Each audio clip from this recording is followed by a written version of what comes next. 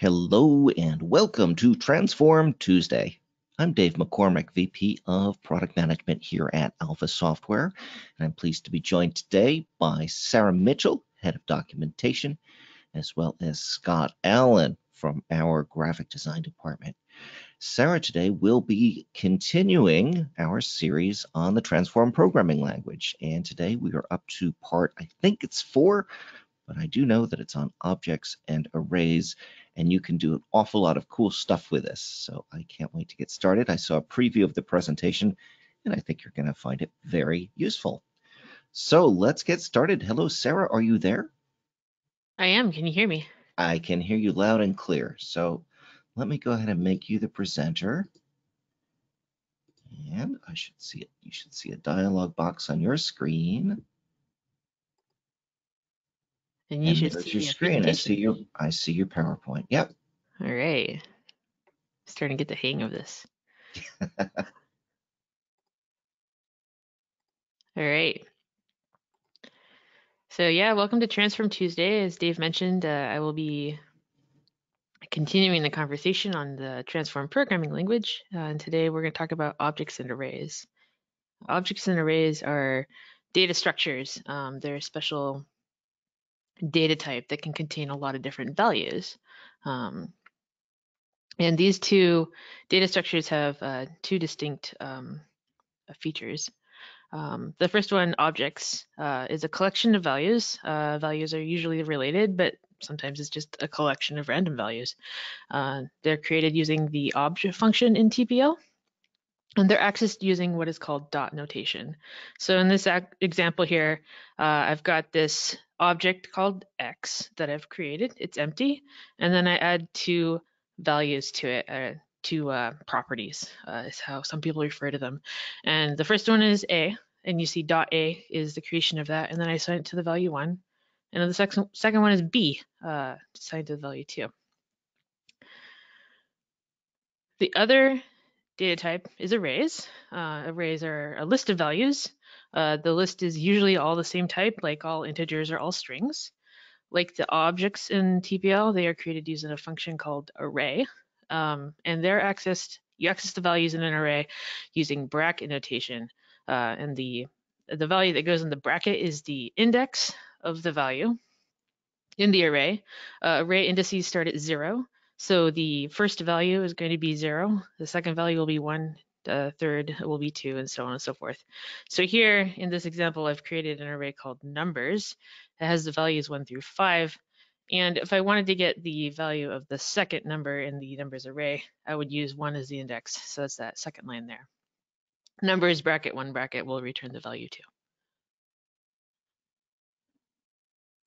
So before we get into any live demos today, I just wanted to go through um, all the um, common functions that are available to you for arrays. Uh, we're going to look at object arrays, which I'll talk about uh, after we go through these here in a moment. But these are um, these uh, these functions are the ones that you're probably most likely going to use, uh, and they're functions that you may see uh, in other programming language languages like JavaScript or uh, Python. Um, they they perform very common functions that you see across the board. So the array function, uh, which I mentioned earlier, is what you call to create a new array. It can be used in two ways. It can be used to create a new empty array, or you can give it a list of values to create a new array that already has content in it. And that list of values is specified as each value in the function call with a comma. And you can have as many of those as you want. So here in this example, I've created a places array and it's got three values, uh, London, Kiev, and Sydney. If I wanted to have 20 countries, I would have the other, or not countries, places in this array. I would just add more uh, commas and names after that. Um, arrays, uh, when you want to work with arrays, one thing that you may need to know is how long it is, uh, especially if you're using it in a for loop.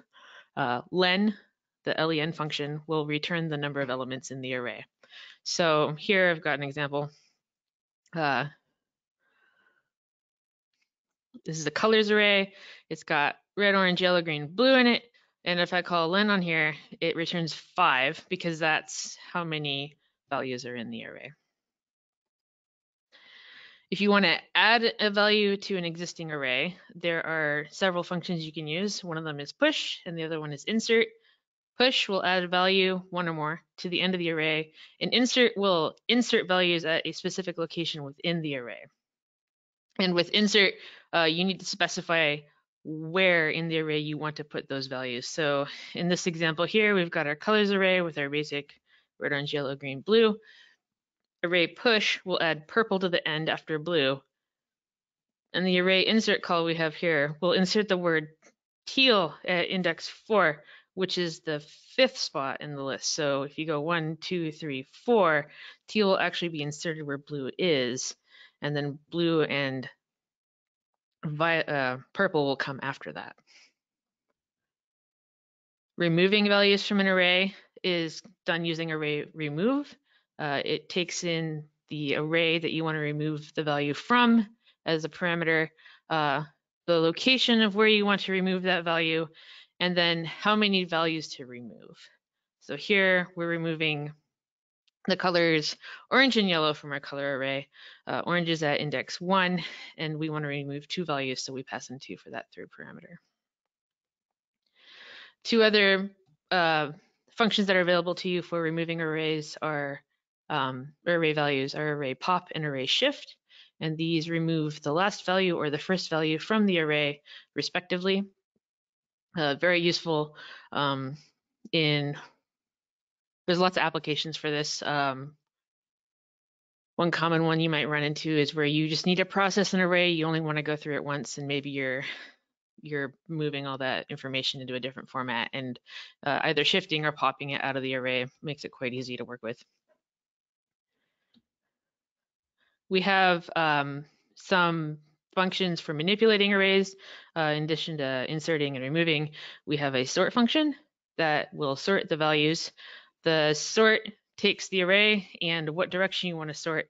And that sort direction can be up or down for string values and up numeric, down numeric, all one word lowercase for numeric values. So I've got two examples here. This first one will sort colors down, so the word yellow will come first and blue will come last.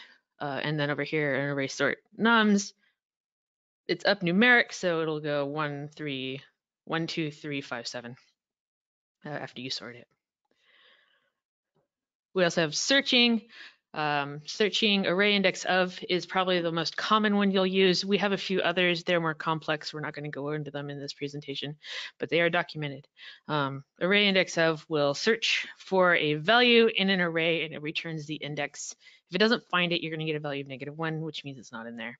So here in our colors array, we're looking for orange and array index of is going to return one because orange is in the zero one position. Array copy, uh, copying arrays. Uh, this is something important to remember. Um, you can assign an array to another array simply using equals, but under the hood, you're working with the same object. So if you want to work with a copy of an array without affecting the original, you need to use array copy. And so here, plants array, when I call array copy, I will have also plants. They will have the same values, but if I manipulate also plants, it's not going to affect my original plants array.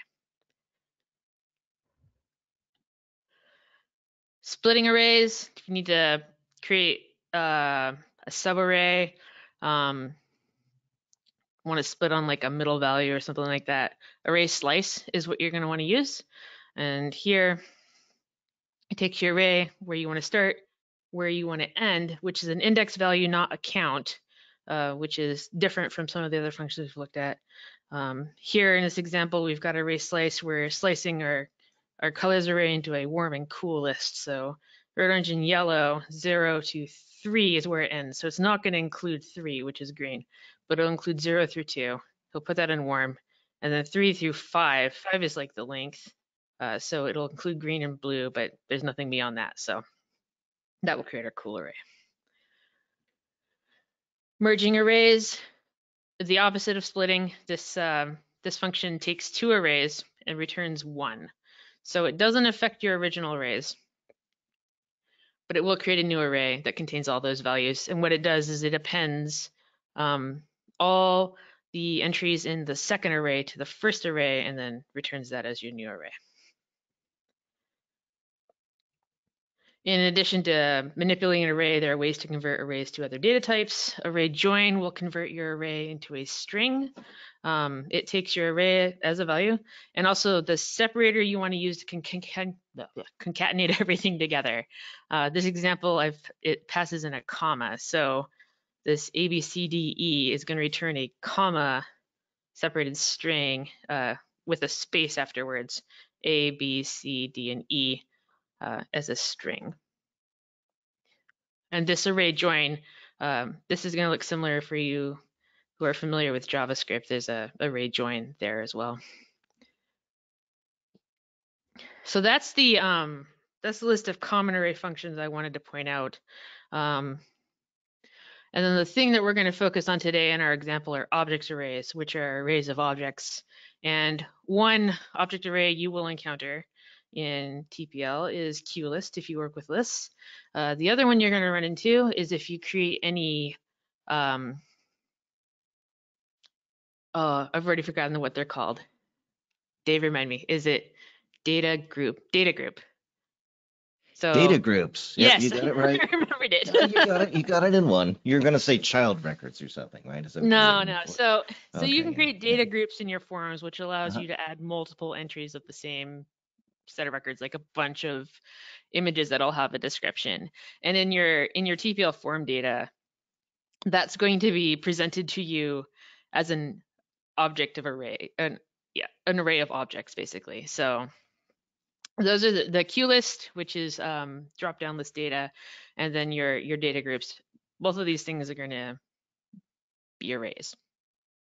So Right. So if you had like uh, a form that was an invoice and you had a whole bunch of line items, then presumably you'd be working with that array of objects to calculate how much they all yes, added up to. yes, you would. You'd be Oh. yeah, you'd have you'd be working with an array of objects if you wanted to iterate through all that and do some sort of in-place computation in your form. Gotcha. Thanks. So working with those object arrays, there's a couple of functions I, I wanted to point out that are more complicated than the ones we've just looked at, but very, very useful. Um, and the first one is array first index. This is searching an object, an array object. Um, and this is different from our array um, index of in that you have to give it a test and the test references object values.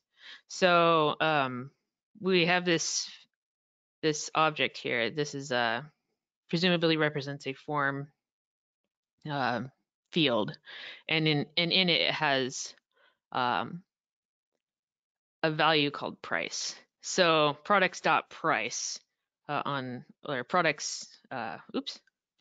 So products is an array. So like products uh, at one dot price would be the value you're testing, and it could have multiple values. So what array Mm. first index does is it looks through this object and it, it and it performs this test on each each entry in that array. And if it passes this test, so if the value of this price field property is greater than 30, then it's going to give you back the index, the first one that it found that has that. Uh, if it doesn't find it, it's going to give you negative one, just like the other array search. And then also there's a, a sort object array, um, array sort object value, and you give it your array and your sort specification. And that sort specification in the, the doc, it just appears to be a single argument, but it can be defined as a series of uh, comma delimited pairs. So here we've got our list of choices, and we're going to sort, sort by the property value, and we're going to sort it down. Where here we've got our stock, um, and we're going to sort by price up numeric, so in ascending order. And then after that, name up uh, in a in ascending order. In case there's any cases where the the price is the same, then we sort by the secondary value. And you can have as many of those as you need. Um, there's another notation that I'm not going to show you. I feel it's a little bit um, trickier. It involves specifying your entire sort spec as a single string. Uh, that is documented and you can certainly check it out. Uh, if it's easier for some of you to think about your sort specification as a string as opposed to multiple parameters that you pass in, that may be of more use for you. So what we're gonna do now is, is do a demo. Um, I've set up a form in advance. And it's it's gonna show you how to use QList. So let's go take a look at, at what I'm talking about here. So I'm in Transform here, I'm in the designer, and I'm working with this object and arrays demo. And this is my uh, little preview here. I've got this colors field, there's a button, there's a couple buttons, and then it's displaying this value for current language. And if we go in here and we look at the form, um, colors is a, a list. And I've got some sort of pre-populated default values here, but these are never actually used. And I'll, I'll show you why in a moment. I've got a sort button. Uh, the action on here is sort, and I've given it a color of green. And then here, I've got two other buttons. Uh, this is German. The color is indigo. This other one is English. The color is also indigo. Uh, and what this uh, purpose of having these two buttons here is to show you how to repopulate an array. And then finally, I've got this read only field down here that just displays what the current selected language is in our form. So all the, the TPL for here, for this form, if you guys remember, is down here. It's in this edit custom code section. If you can't find this, it's in advanced features and you have to click this yes radio button to enable uh, selecting this to open up the TPL editor. And in here, I've got uh, I've got code in several events. So what I want to do before we go into this is show you um, what the form does when it's live. So if you give me a moment here, I need to uh, set this up real quick.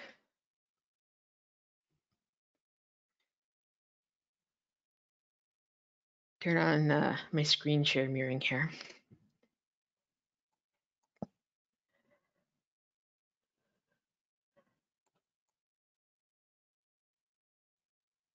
And I'm not getting, am I on the right?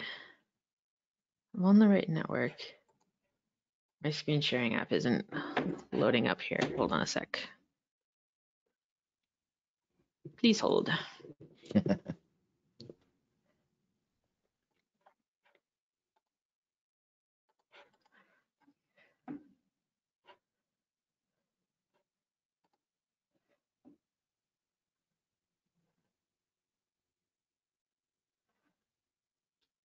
There we go. I got it working. All right. Let me just pull open transform here, and show you guys. Ah, So yeah, you should be able to see my phone. So this um the objects and arrays form, I've already got it up in here. Uh, this is the um this is what we were looking at. This is colors. When I tap on it, displaying all my colors in English. Um, if I tap sort, we go look at colors again. They're sorted in alphabetical order. If I click the Deutsch button, it will repopulate everything in German. And then again, if I sort it, everything is sorted alphabetically. And then just one more thing, if I select a value here, I've got this set up so that it will automatically keep our selected color whenever I switch that, that language. cool.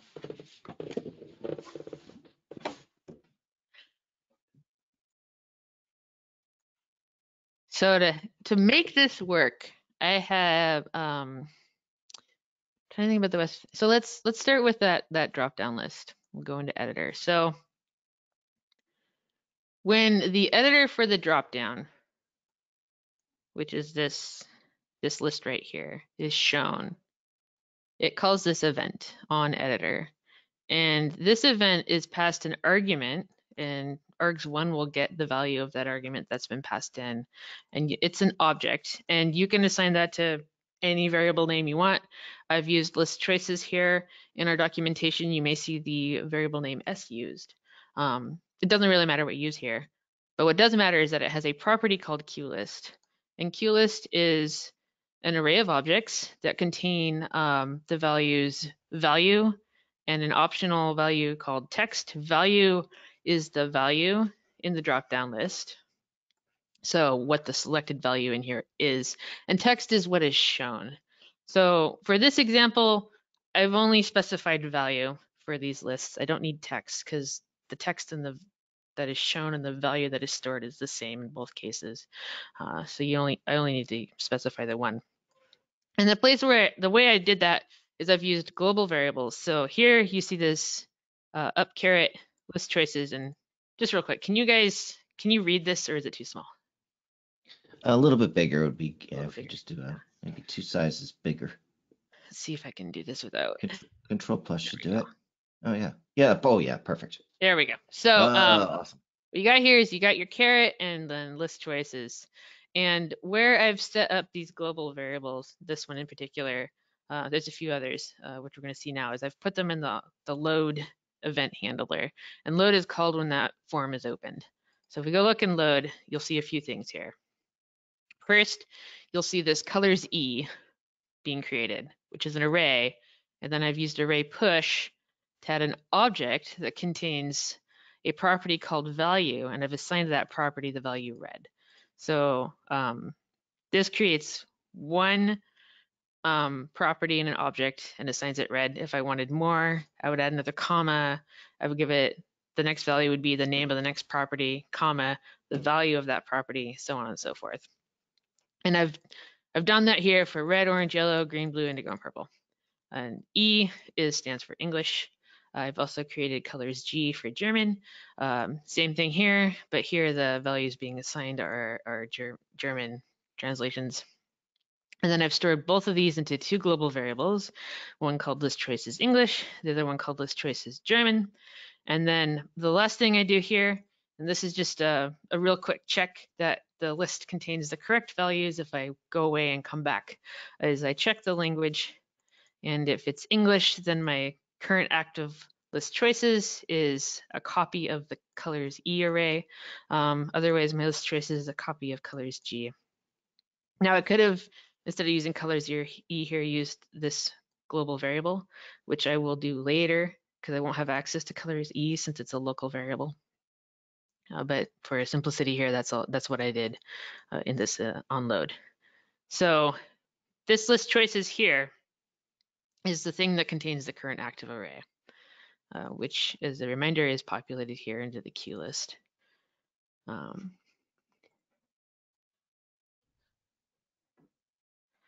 so uh, let's take a look at the sort button next. Um, sort, as you may re- recall, sorts all the choices in alphabetical ascendant order. That's defined here in our sort button event. And all this does is all I do is I call array sort object value on our current list of choices. I want to sort by the value and I want to sort sort it up.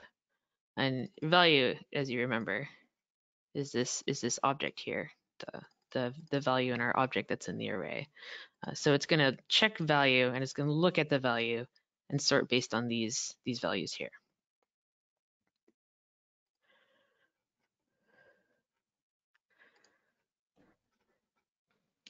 Cool. So the last thing, uh, before I continue, are, are there any questions on that, what we've covered so far?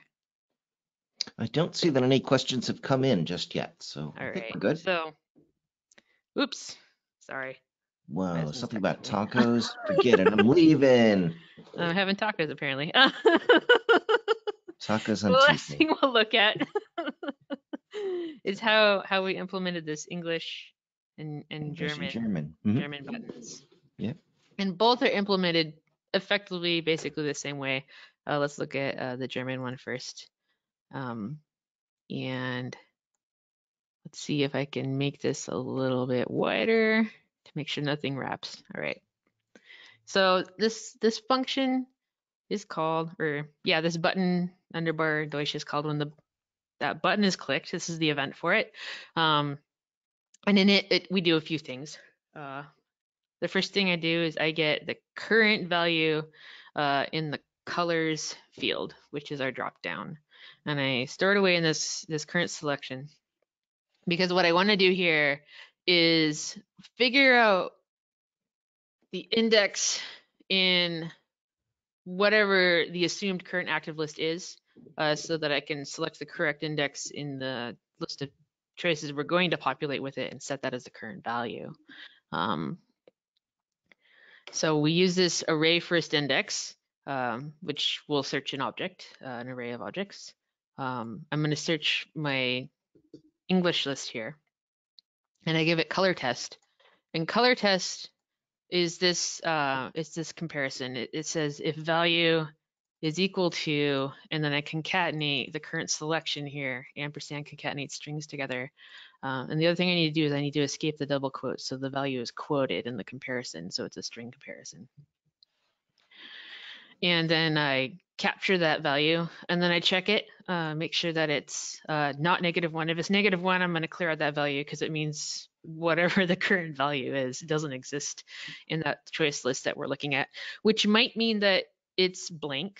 Uh, it might also mean that I've screwed up somewhere and the current list of choices is actually German. Um, so either way, I, I want to clear that out. I don't want it to keep it.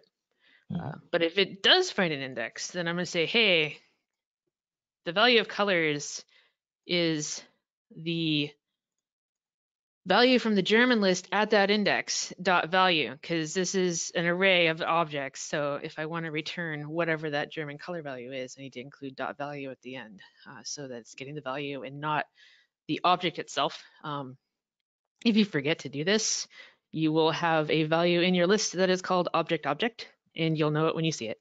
Um, and then, uh, so after I've determined what the new value is when we switch that list over, I then say, hey, list choices, you're a copy of our German options. And then I set the language to Deutsch so I know what the current language is. And if we look at the English button, it's exactly the same code, except that instead of searching the English list for the current choice, we search the German list we capture the English value, and then we copy the English list into the list of choices and set our language to English. So they're basically doing the same thing. Uh, I could have um, simplified this a little bit by putting this um, code into a function and then just told it which which lists I want to swap between. Um, but I don't think we've covered functions just yet. So uh, we haven't. That'll be next. Yeah. Yeah, it's coming next. Spoilers. So So that's the code. That's that's all that's to this list. Um, that's it. Yeah, yep. that's it. It's pretty. There's actually quite a lot yeah, involved with both objects and yeah. and arrays and and figuring out the dot notation and all that. So yeah. yeah. And then well, one one more thing I just wanted to share with you guys is this tester. Because while I was working with this example for you today, I kept doing it wrong. I right. couldn't figure out what it ended up being that I was using a single equal value here instead of double. Uh-huh. But you can come into this designer and I'm actually gonna zoom this back out because it's not so valuable that you can read the code here so much as see what's going on. But in this tester, uh, you can actually select these different functions. Like, so I can come down here and say on load, go look at my global variables here on the side here and just run this function and watch it execute all my code and then create my little global global lists. Mm-hmm. Then I can go over and say, like, all right, um, let's pretend we've uh, clicked the German button and let's pretend here in the local variables, that's or the the fields here. I'm gonna click this edit icon, hit enter, and add colors. That's the name of my field. I'm gonna say it was like green or whatever, comma, because this is JSON. And I'm gonna set up this environment, say I've the user is selected green and then they've tapped this button and I just want to test that. So I can I can step through here, go over here to the local tab, I hope. Maybe I need to do that before before I uh, started clicking on things. Just step through that. Oh, you know, there's this, hold on. That little GoToMeeting panel, that is very helpful. Oh, it, it hit the save. save button, didn't it? Yeah. Yeah. So you edit it, make your you save edits, it. click save, Yep. uh, and then uh, pick the thing you want to run, go over to your local tab and step through it. And now you can see it's like, oh, the current selection is green. Um, there's my color test. That's the test that got created. All right, the value is equal to green. All right.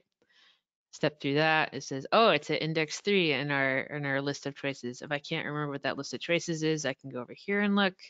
Um, I could also just come down here and type in uh, caret list choices English and enter, and it will display this really helpful object, object, object, object. I'm like, oh, okay, that's not very helpful. But uh, you can you can use this interactively while you're stepping through it. So it says index is three, which means that uh, colors should get changed here to whatever was in German. We go look at colors. Look at that. Grun has been selected. That's what I want. And then continue, and then list of choices. If I look at my global variables, list of choices should be our German list, which is down here. So I can verify that got set. And then one more time. And if we check our, our language has been set to uh, Deutsch. So this is very, very helpful. Um, and you know, setting up your environment uh, to emulate what the customer, what your user might have chosen, uh, is done through this interface over here on the side. Nice. Um, and can you share this form design for people who would like it? Yeah, I can. Cool. So if you want a copy of it, send an email to tfservice at alphasoftware.com. We'll send it over. Very right. good. So Sarah, thanks very much. It looks like you've come to the end of, uh, end of today's discussion and uh, don't have any questions. So I just want to thank you very much for going over this. I know this is this is the part that took me a little bit longer than the other parts to get in TPL. The functions and the fields and stuff, those are all fine, but uh, it, it took me a little while to wrap my head around it. I'm not a super skilled programmer, so but uh, but I can definitely do a lot with TPL once I once I figured out how that all worked. All right, so thank you everyone who showed up today. If you've got any questions, go ahead and send us an email to tfservice at alphasoftware.com. We hope to see you next Tuesday at our next Transform Tuesday. Take care and stay well. Bye bye.